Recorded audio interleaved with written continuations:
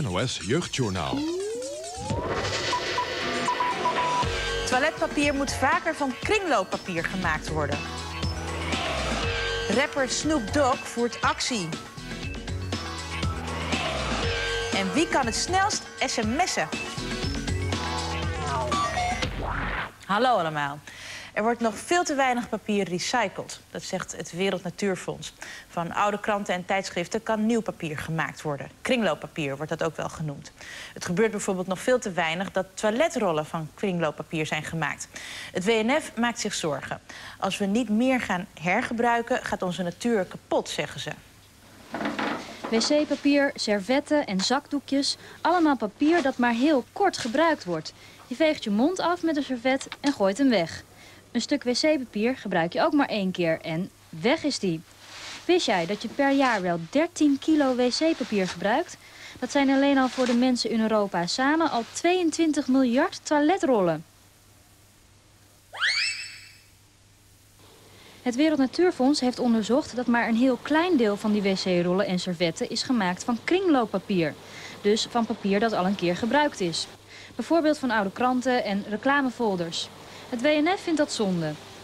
Je kan het veel beter maken van oud papier. En dat kan namelijk ook heel goed. En uh, dan bespaar je de bossen en dan blijven ze beschikbaar voor uh, de dieren die erin leven. Ja, want papier wordt gemaakt van hout. En iedere dag worden ruim 67.000 bomen gekapt voor het wc-papier van de mensen in Europa.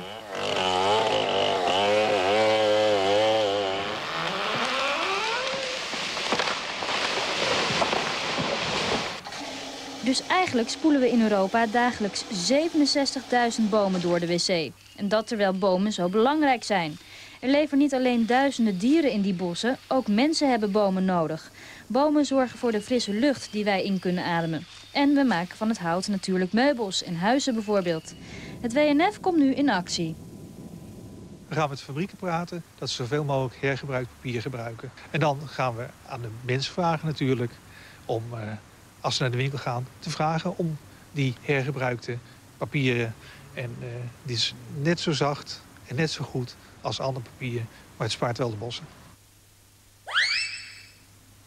Om te zien of wc-rollen van kringlooppapier zijn gemaakt, moet je op de verpakking kijken. Daar staat een tekentje op. De wereldberoemde rapper en acteur Snoop Dogg voert actie. Hij wil het leven redden van een ter dood veroordeelde man. In de Verenigde Staten kunnen mensen nog de doodstraf krijgen. In Nederland bestaat die straf niet.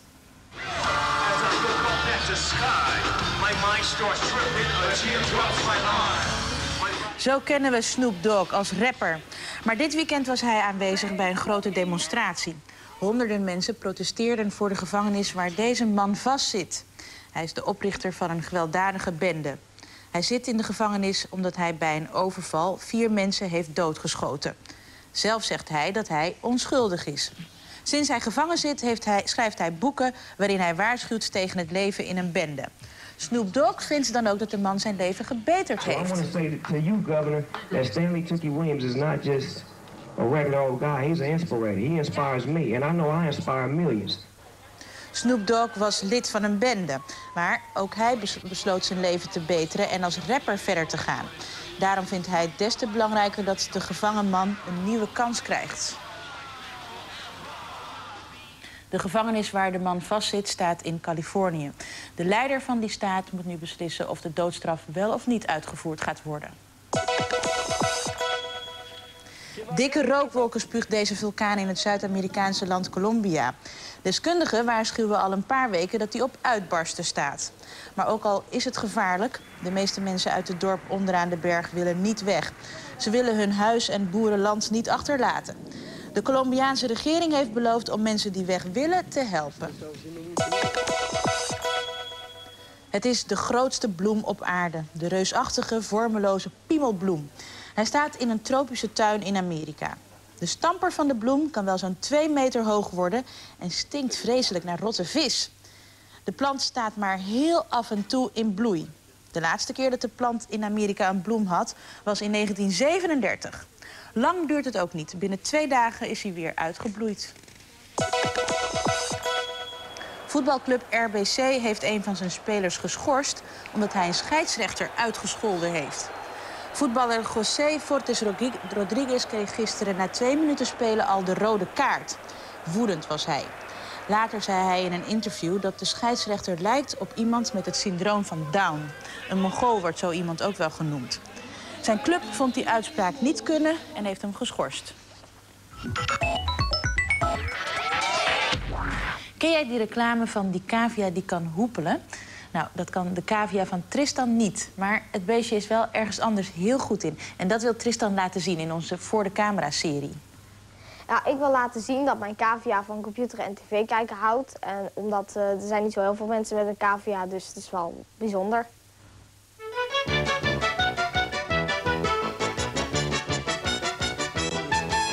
Dit is uh, Lientje. Dit is de cavia van mijn zusje. Die is nogal wel lief en ook wel wat slimmer dan mijn cavia. Dit is uh, Siske. Dit is mijn cavia. Die is uh, heel anders dan de, die van mijn zusje. dus ze houdt er ook niet van als je er pootje aanraakt. En nou, ze is dol op computer en tv kijken.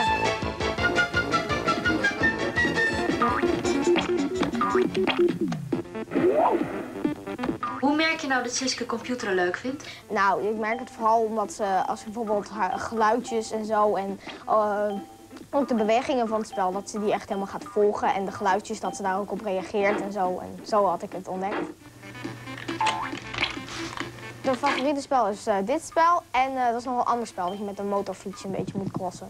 Ja, als het spelletjes geluid en kleur hebben, dan is het helemaal goed.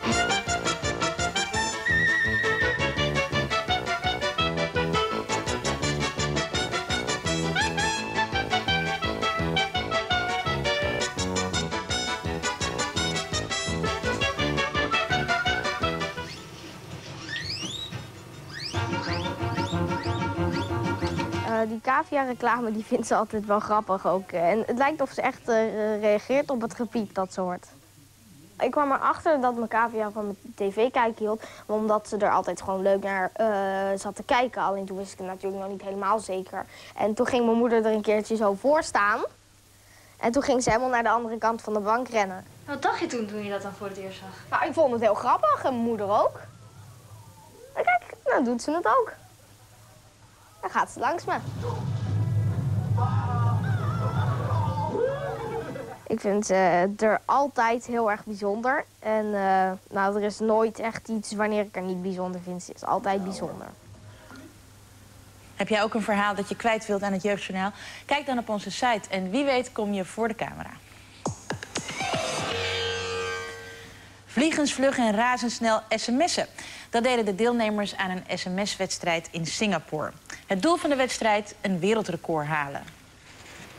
Een wereldrecord is het niet geworden, maar hij is wel sms-kampioen van dit jaar. Deze 18-jarige student uit Singapore in Azië. In 45 seconden had hij een supermoeilijke Engelse tekst zonder fouten overgenomen. En de sneltoets of het woordenboek gebruiken, dat mocht niet. De winnaar had wel flink ervaring. Hij stuurt namelijk zo'n 800 sms'jes per dag. Whenever free, practice and practice. But I won't keep practicing because I encounter this problem whenever I practice too much, my fingers will not listen to my. Uh. Dit was de Engelse tekst die de deelnemers moesten schrijven. In het Nederlands staat er... Piranha's met messcherpe tanden van het ras Genera Cerasalmus en Pigocentrus... zijn de meest agressieve zoetwatervissen van de wereld. In werkelijkheid vallen ze zelden mensen aan. Zeker geen makkie dus. De tekst is dezelfde als bij de wedstrijd van vorig jaar. Toen haalde een meisje met 43 seconden wel een wereldrecord. Ze was twee seconden sneller dan de winnaar van dit jaar.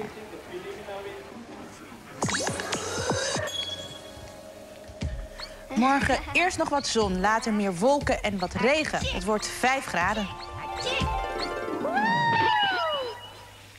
Dat was het. Morgen zijn we er weer volop. Smiddags om tien over half vier en s'avonds natuurlijk een nieuwe uitzending om kwart voor zeven. Leuke avond nog. Dag.